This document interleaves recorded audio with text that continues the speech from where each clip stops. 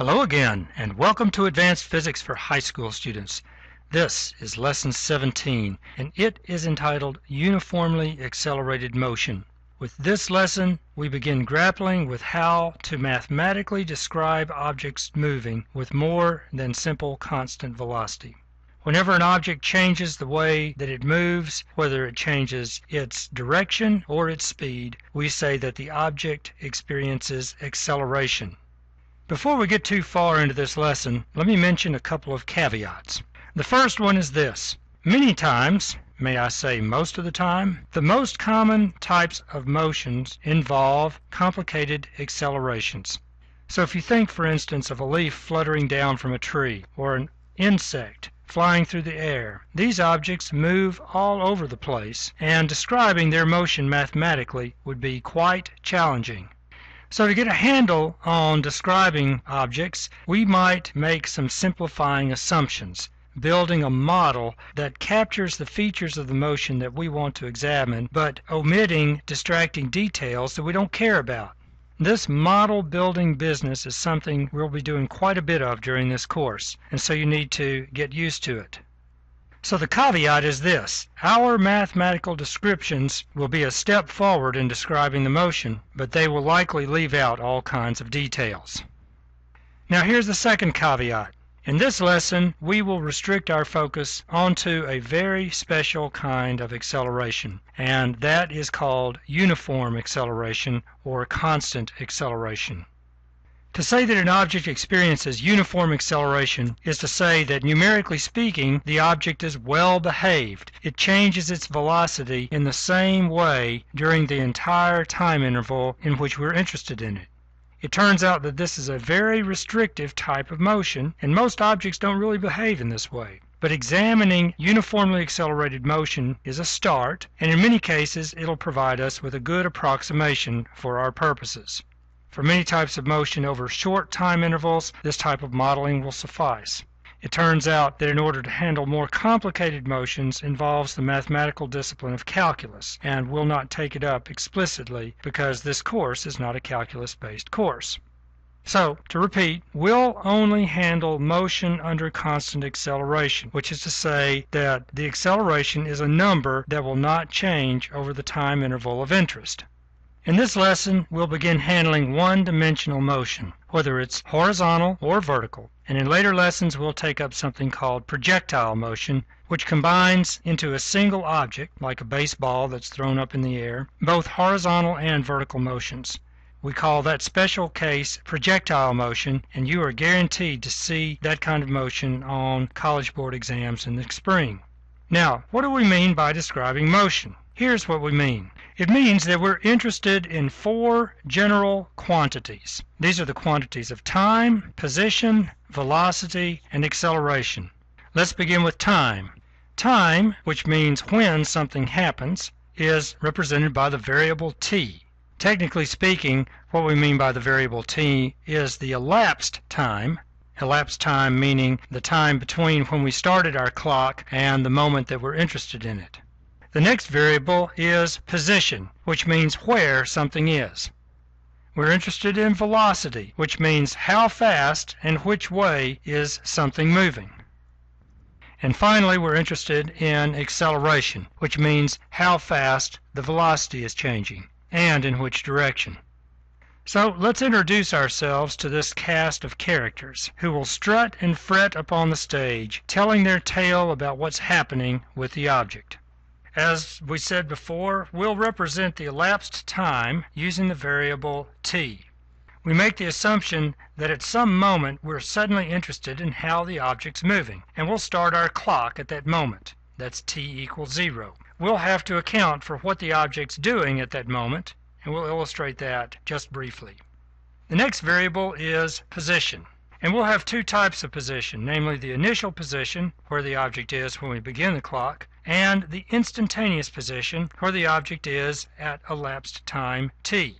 We'll represent those with variables x and x naught. You'll see that we call this 0 in the subscript of these variables by the name of naught. So the initial position is referred to as x naught. It's the location of the object in some frame of reference at the moment we start our clock. Your text throws in the variable delta d for displacement, but I won't use that variable much in problem solving. I prefer to keep to the variables x and x naught. Just realize that in your text delta d equals x minus x naught. You'll notice that I'm writing x and x naught down with these vector signs and that delta d is also a vector x minus x naught. And you'll see that sometimes we keep these vector signs and sometimes we drop them. But just because they don't appear doesn't mean that you shouldn't remember that they are vectors, which means that they have a magnitude and they have a direction.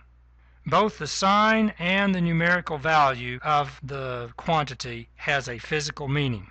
We could just as well talk about vertical variables, in which case we'll use y's instead of x's. When you think of position, you should think about where you are on a calibrated number line or a calibrated Cartesian coordinate plane. So think about in your math course plotting points on a number line or placing data points in certain locations on a grid based on ordered pairs of coordinates. The coordinates may have positive values or negative values, and those signs have physical meanings in the context of whatever reference frame we're working in. While we don't have to, oftentimes we'll set the origin of our number line or our grid at the place where the object is located at the moment that we start our clock. So to make this concrete, let's consider a horizontal reference frame. At time t equals 0, let's say an object is located at a certain position. Say x naught is equal to minus 3.5 meters. The object then moves. Maybe it accelerates, maybe it doesn't, but whatever it does, at some later time t, it's found someplace else. Let's say that it's found at x is equal to plus 2.0 meters.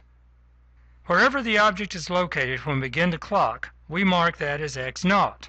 That's at the negative 3.5 meter point. And wherever it is, when the lapse time t has emerged, we mark it as position x. That's the 2.0 mark. The displacement of this object, delta d, is given by the difference between these two points, x minus x naught, which in this case is equal to plus 2 minus a negative 3.5. In this case, it's equal to plus 5.5 meters. In plain English, the number tells us how far the ending position is from the starting position during this time interval t. In this case, it's 5.5 meters. And the sign tells us in which direction that that point lies. In this case, it's in the positive direction. The object is located a position 5.5 meters to the right of where it began. The displacement is a vector quantity requiring both a magnitude, which is the number, and a direction, which is the sign, to completely describe it. Now let's go back to our cast of characters. Knowing the object's location is important in describing the motion, but we also need some further information when we are going to try to predict what it's going to do in the future. The object moves, and we need to know how fast and which way it's moving. And we do this by classifying the variable v, for velocity. While the velocity is a vector quantity, it's not as easy to visualize as the position is. Nevertheless, we'll represent it with an arrow whose length, on an appropriate scale, tells us how fast it's going. The direction the arrow points tells us which way the object is moving when it reaches that point in space. We'll call the initial velocity v naught and the instantaneous velocity v. On our number line, we can show these arrows like so. Let's suppose that at time t equals 0 that our object was moving to the right with a speed of, say, plus 3 meters per second. And let's suppose that at some later time t that the velocity is negative 1 meters per second. That negative sign tells us which way to point our arrow when we sketch the diagram. Back to our cast of characters. The last bit of information that we're going to need for describing the object's motion is its acceleration, and we'll symbolize that using the letter A. Whenever the object's velocity changes, we say that the object accelerates. You'll recall that we defined the average acceleration in Lesson 7. The average acceleration is equal to the change in the velocity divided by the time interval. Numerically speaking, if we know the initial velocity and we know the final velocity, or the velocity at the instant in time we're interested, we can find the change in velocity. It's v minus v naught. And we can compute a numerical value for the average acceleration if we know something about the time interval delta t during which the velocity change takes place. In this particular lesson, the numerical value of the acceleration won't change during the time interval we're interested in. This is what we mean by the term uniform acceleration. It means that the acceleration is constant. We'll come to see the, that one very special case of uniform acceleration is something called free fall motion, which is what happens to an object when gravity is the only force acting on it. And we'll handle that special case of uniform acceleration very soon in a future lesson. So now let's write down the three equations of motion under a constant acceleration. The first equation is this. v is equal to v naught plus at. Here's what it says. You want to know how fast the object's going at time t? You got to know how fast it was going when you started your clock, and you need to know how that speed was changing and the time interval over which the change took place. The second equation says this. If you want to know something about where the object's going to be at a certain time t, then you need to know where it was to start with, how fast it was moving, and how fast that speed was changing x is equal to x naught plus v naught t plus 1 half a t squared. Finally, there's an equation relating velocity of the motion not explicitly showing the time variable. It looks like this. v squared equals v naught squared plus 2a times x minus x naught. Naturally, if we're talking about vertical equations, then we would replace the x's with y's, but you get the idea. All three of these equations come from calculus, and we're not going to derive them, though if you're interested in seeing them, come by sometime and I'll be happy to show you where they come from. They involve integrating appropriate definitions or equations, and in one case, using something that's called the chain rule. Now, your authors provide you with four equations in a table in this lesson that you see that I've given you only three equations. I think you find their fourth equation is not going to be as useful to you, and so I'm going to stick to these three. These three equations of motion under constant acceleration will be workhorses in your study of one-dimensional and two-dimensional motion. They're going to come up over and over and over again, and you need to memorize them. I encourage you to use these equations and every other equation you encounter in this course, and buddy, there's going to be a bunch of them, that you'll use these equations as guides for thinking. And bring your own personal experience into play too.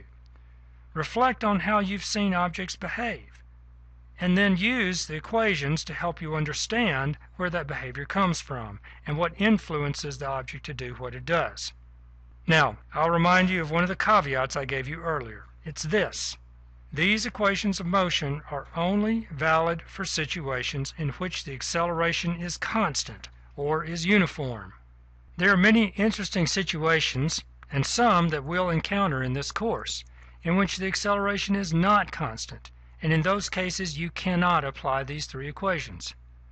For example, when we deal with periodic motion involving a mass on a spring, or involving a simple pendulum, or when we deal with objects moving in circles, such as planets around the sun or figures on a carousel. These objects repeat their motions in regular ways.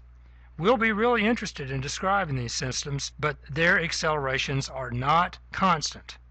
But you're definitely going to have to wrestle with constant acceleration, and so these three equations are going to be important to you for a while. Let's begin with some specific examples.